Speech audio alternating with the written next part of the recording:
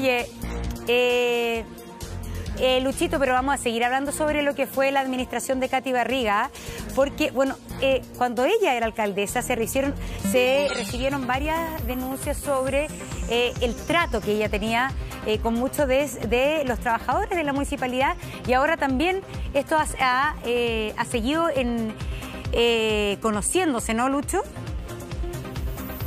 Claro, y es esta última denuncia de una asesora que toma un tinte distinto. Eh, es una denuncia de agresión directamente. Eso es lo que denuncia esta agresora, esta eh, funcionaria, asesora directa de la alcaldesa, quien denuncia haber sido golpeada por la alcaldesa.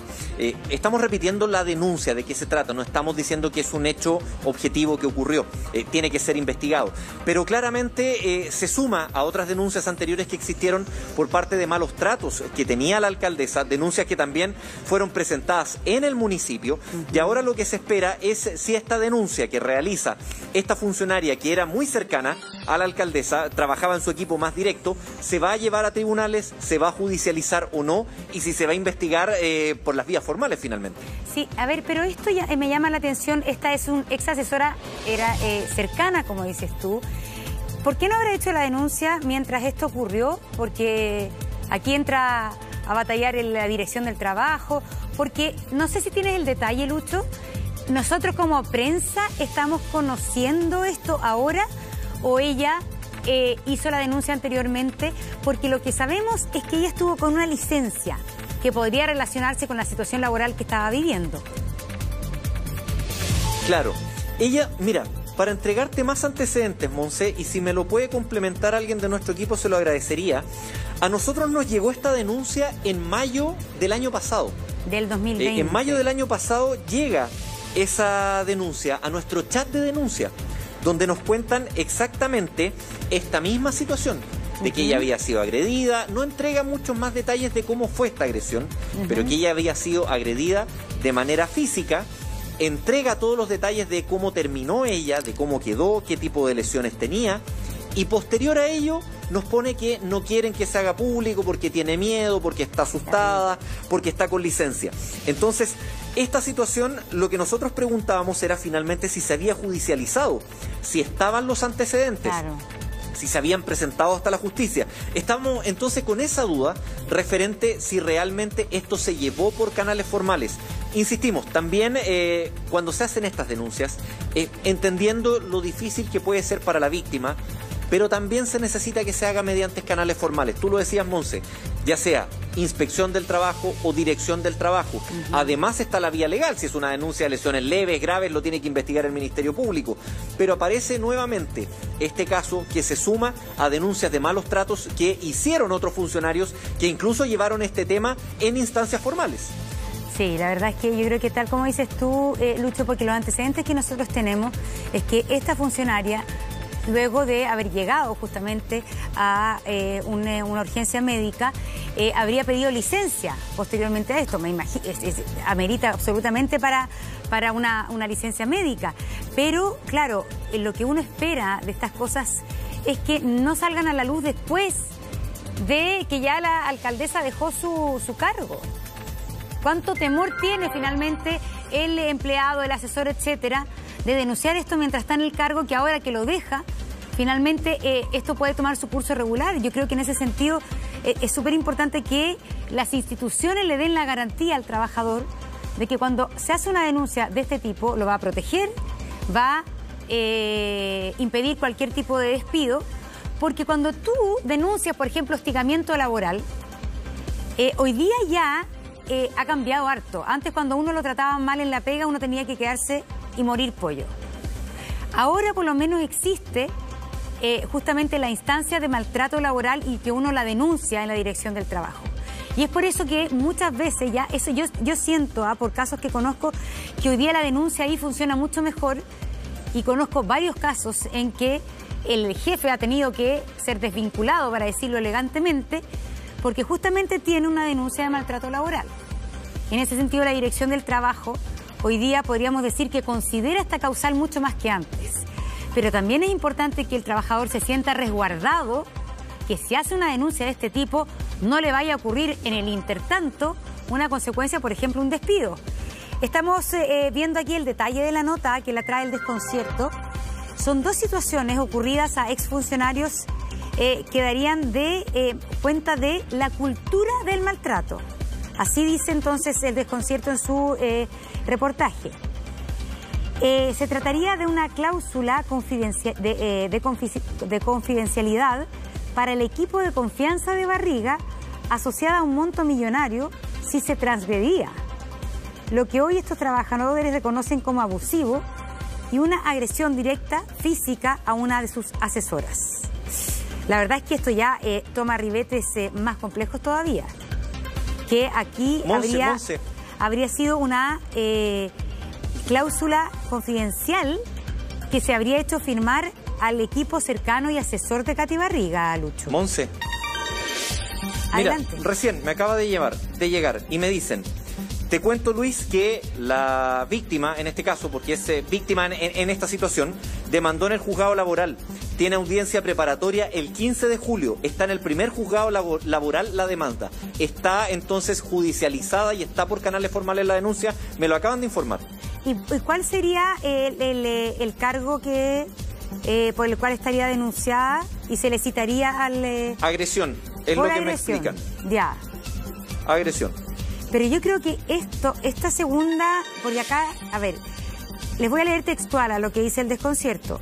Los cuatro años de gestión de barriga y esa denominada cultura de maltrato ha impactado fuertemente a la estructura organizacional del municipio.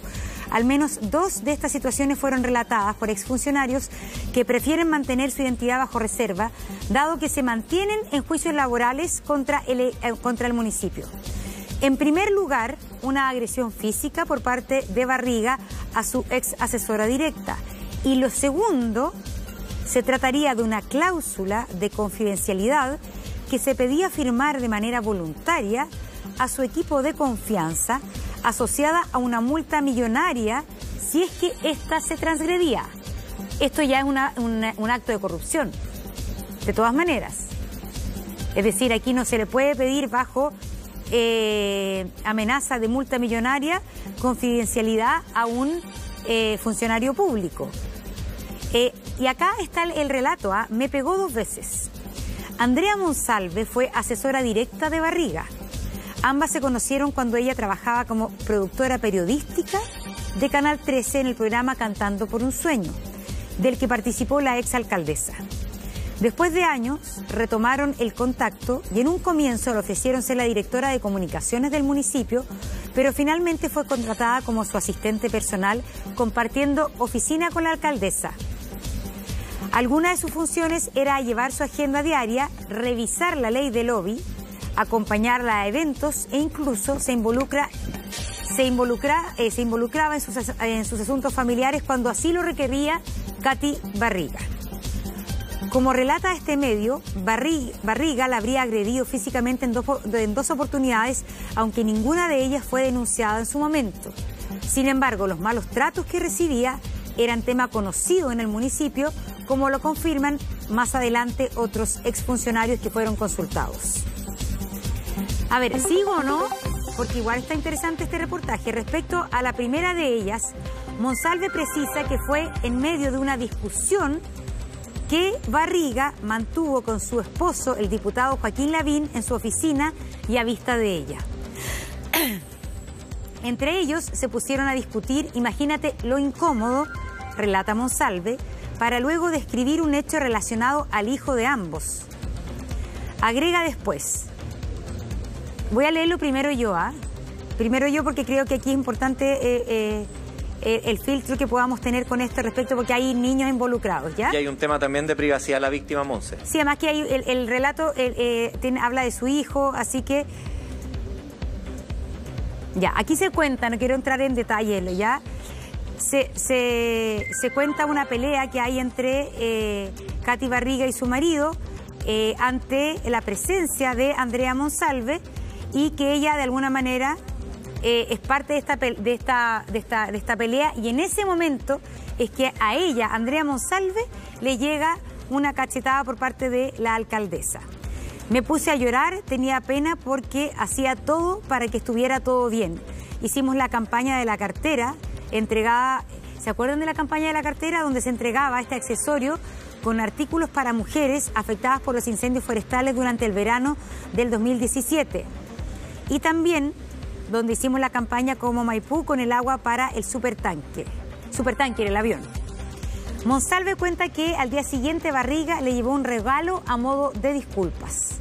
La situación se repitió en la misma oficina cuando Monsalve, Andrea, le advirtió sobre el trato que habrían tenido unas funcionarias en la atención a público. Les pedía todos los días un informe a ellas, a las asistentes sociales, que eran amigas de Barriga, porque las había llevado, porque no trataban bien a las personas y lo hablé con ella. Le hablaba de buena forma y ella reaccionaba así. Le discutía las razones por las que despedía a la gente, porque me miraron mal los zapatos, porque me contaron que me había hablado mal de mi pelo y a quién le iba a contar, etcétera. Bueno, ahí narra entonces Andrea Monsalve cuáles fueron los, eh, las situaciones de maltrato que ella eh, recibió por parte de la alcaldesa eh, Barriga y acá hay un reportaje súper largo publicado en el desconcierto con todos los detalles de esto y de esta cláusula de confidencialidad que ella habría pedido firmar a sus asesores, eh, Lucho.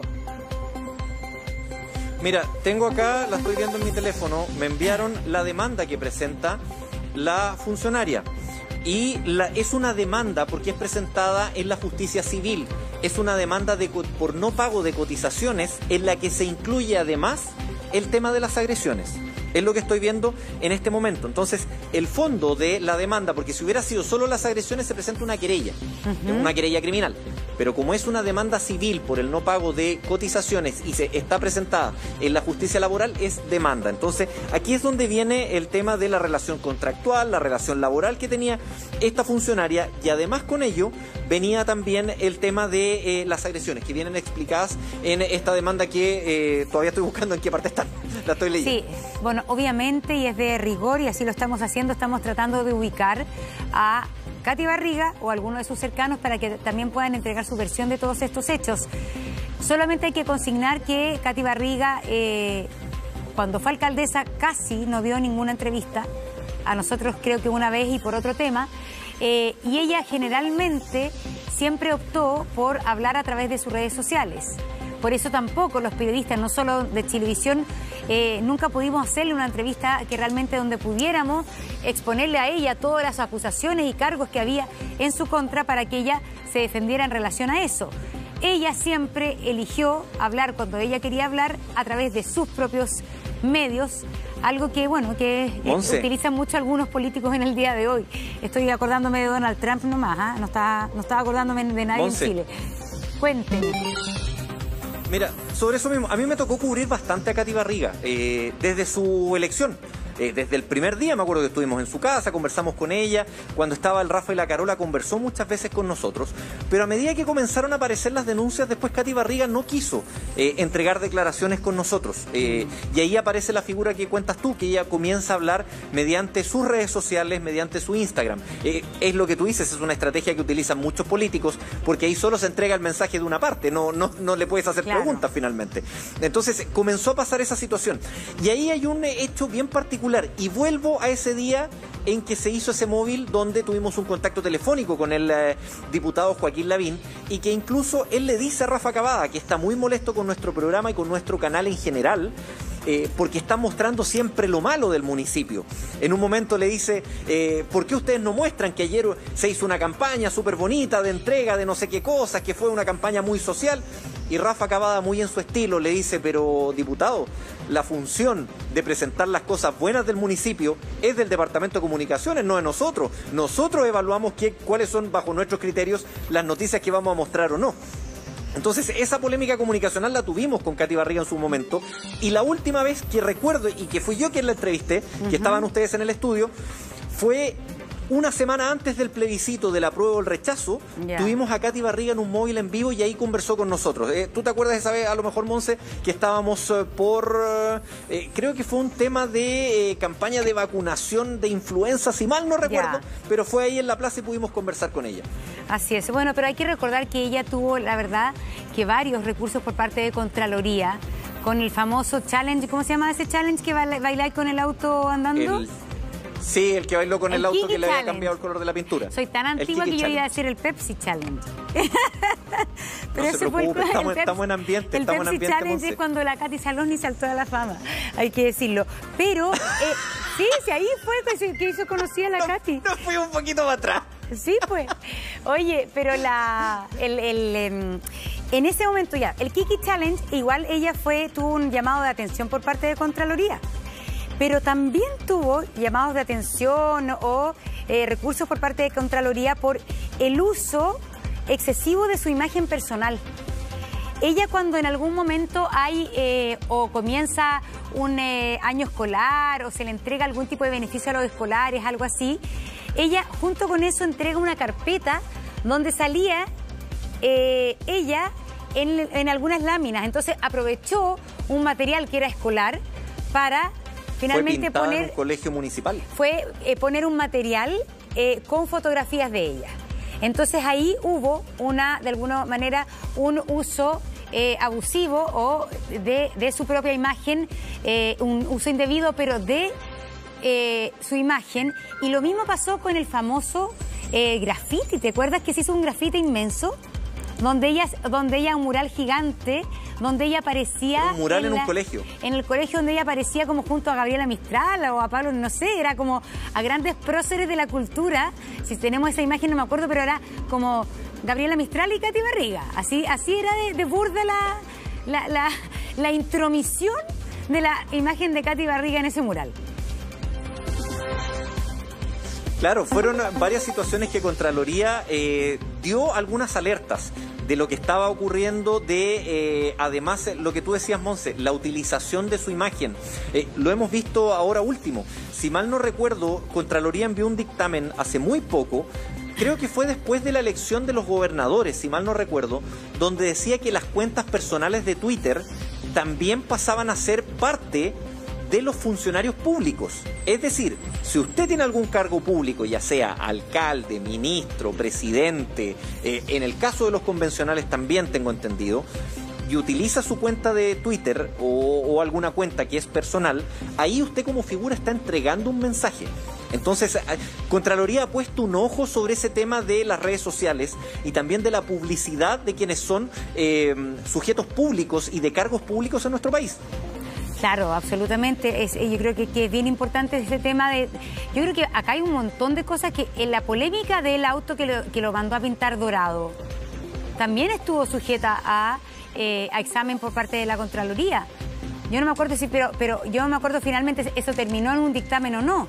Pero hay que recordar que los autos municipales, al menos el auto de ella, fueron mandados a pintar dorado, porque a Katy Barriga le gusta el dorado, eso está clarísimo. Le encanta el dorado y le encanta el rosado. Y el amarillo, porque es todo amarillo con azul ahora en Maipú. Es que, eh, ojo, pero es que el amarillo y el azul era lo que ella estableció, que eso creo que está dentro de la ley, ya, eh, estableció como colores del municipio. Eh, pasa en otros municipios también, si mal no recuerdo, creo que Estación Central también era amarillo con azul.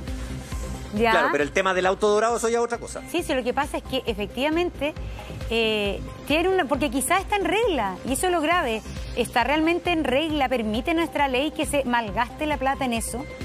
Porque, oye, hay que usar el auto que está y con el color que está. Sí, finalmente hay gastos que son eh, frívolos, hay gastos que son totalmente prescindibles y hay gastos que son urgentes. Entonces hay que focalizar el gasto público a las cosas que realmente se necesitan.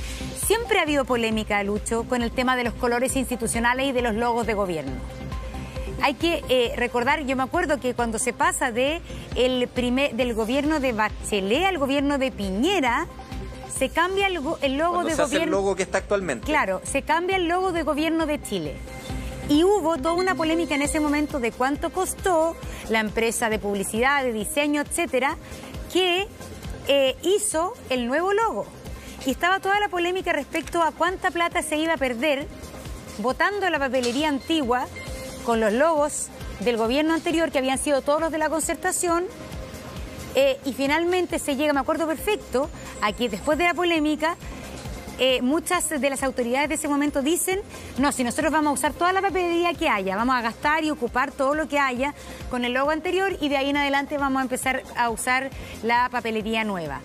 pero yo en lo personal creo que esas cosas no deben estar sujetas como al gobierno de turno, al alcalde o alcaldesa de turno, porque creo que finalmente son, eh, personalizan demasiado los cargos. ¿Por qué tiene que el alcalde cuando llega o la alcaldesa cuando llega cambiar el color institucional, cambiar el logo? Es un gastadero de plata. Maipú, Providencia, Santiago debía tener su logo, sus colores y ese mantenerse. Si quiere pegarle una enchuladita, ya peguele una enchuladita de vez en cuando. Pero realmente que los gobiernos, los municipios gasten plata en eso para ponerle un sello personalista a los cargos, a mí no me parece. Monse, mira, y acuérdate más aún, cuando Michelle Bachelet asume su segundo gobierno, ella mantiene, precisamente por la polémica que se había dado en el gobierno anterior de Sebastián Piñera, ella mantiene el logo.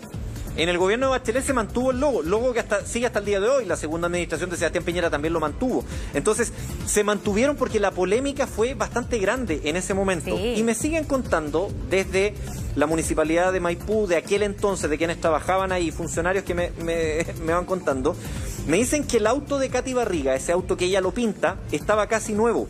Claro. Vitori lo había comprado el año en la administración anterior, o sea, tenía un poco más de cuatro años porque ese auto lo había tenido antes Alberto Undurraga. ¿Te acuerdas que Alberto Undurraga también fue alcalde de Maipú? Yes, sir. Y es, en, ese, en esa administración ese auto había sido chocado y no estaba en buenas condiciones, entonces después se compra este auto nuevo en la administración de Vitori. Eh, y es el que pasa después para Cati Barriga. Eh, recordemos también, eh, y a nosotros nos toca ver mucho, tú también lo has visto cuando, de todo este tiempo que llevas en, en televisión también reporteando, los autos de las autoridades se utilizan muy poco. Si es muy poco el desgaste que tienen los autos de, autoridades. Habitualmente tienen recorridos cortos, salvo los autos de los parlamentarios, que eso sí se utilizan más por el tema del pique a Valparaíso. Pero en general los autos tienen poco uso. Entonces, por lo mismo, era un auto que estaba relativamente nuevo, que no necesitaba nada. Oye, y como broche de oro, eh, nos faltó repasar el evento Yegua. el capítulo pues, yegua, la yegua de Maipú. Pues. la yegua de Maipú. ¿no? Oye, al final, ¿quién era el dueño de la yegua? ¿La alcaldesa o el municipio? Bueno, Katy Barriga dice que la yegua era de ella que la yegua era de ella. Y cuando llegan al corral municipal, eh, o sea, perdón, a este parque municipal donde estaba la yegua y la llegan a buscar. Ya. Perdón, me confundí con la. Es, que, el corral que nos tienen aquí que nos corrieron, nos sacaron un poquito las vallas papales. Entonces, ya, si los puede mostrar un poquito, Arañita, la, la, movieron un poquito. Municipal. Entonces, Claro, claro, no, y, a donde estamos nosotros, que también tiene como la misma estructura, porque es cuando nos cambian del otro lado, es casi como vuelve a tu corral, maldita oveja, una cosa así, y ahí volvemos a donde estamos acá. Entonces, cuando llegaron a buscar la yegua, una vez que sale Katy Barriga, asume la administración del alcalde Bodanovich, lo que le dicen al encargado es que la yegua es de Katy Barriga. Ya. Y el encargado dice, yo no puedo hacer nada si no tengo la autorización de mi superior, que es de la nueva administración, para entregar el, la yegua. Entonces empiezan a ver en eh, eh, los inventarios y en todo, y la yegua no estaba en inventario. No estaba en ninguna, porque al ser, eh, en este sentido, que me perdonen los animalistas, pero al ser la yegua un bien, tiene que estar inventariado en la administración pública. Entonces no estaba inventariado, no estaba en ninguna parte, no había ningún registro de propiedad de la yegua. Entonces Katy Barriga dijo que la yegua era de ella. Ya finalmente, para salir de toda polémica, le entregan la yegua. El tema es que la duda dónde salta. ¿Por qué si la yegua era de Katy Barriga, estaba en una dependencia municipal? Si es algo que era de uso, si era privada, ¿por qué estaba en una dependencia municipal y, con los, y bajo los cuidados de funcionarios municipales?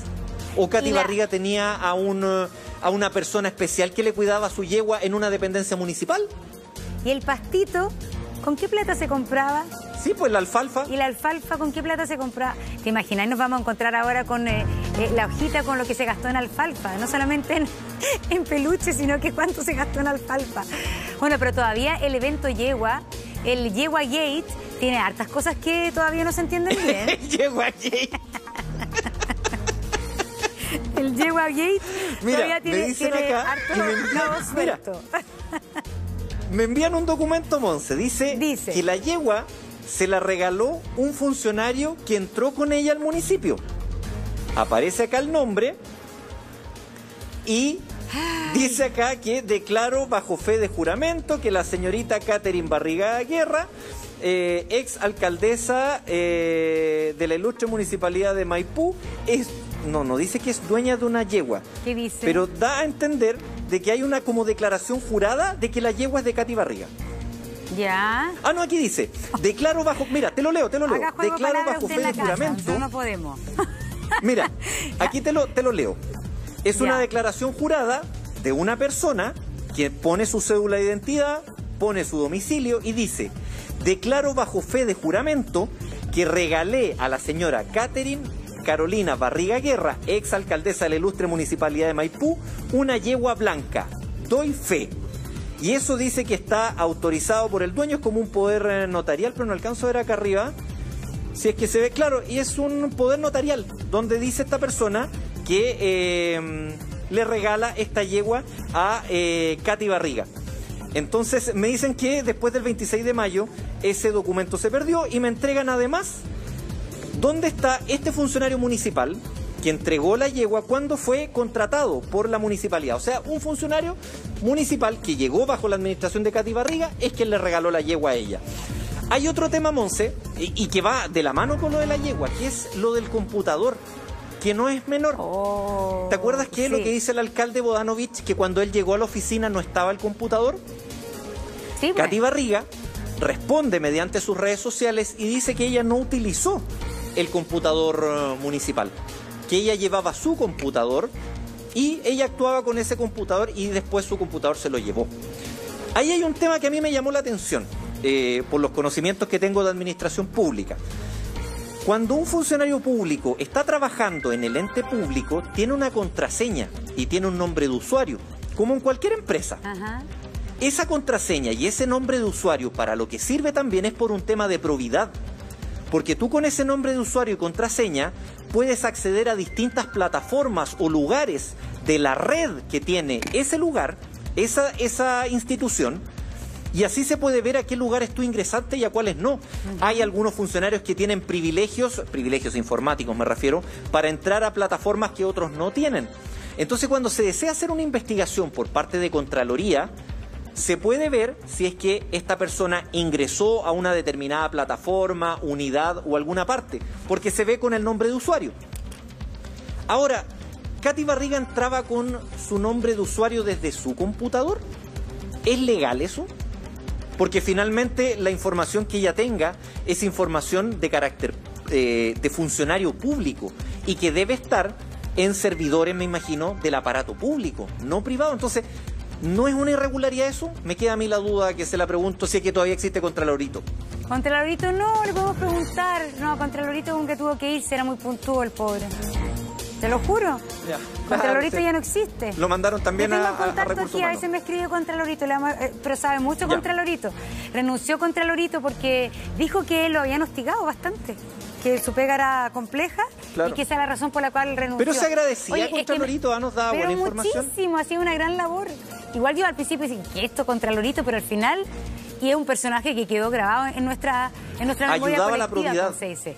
Oye, pero el tema de la... Era como un Alberto Precht digital. Eh, sí, César Leiva. César Leiva es Contralorito que finalmente renuncia porque a través de Twitter nos informaba de muchas cosas y dice que una de las razones de su renuncia es por el hostigamiento que recibió. Eh, porque transparentaba muchas de las cosas que eh, estaban investigadas o que habían sido dictámenes de la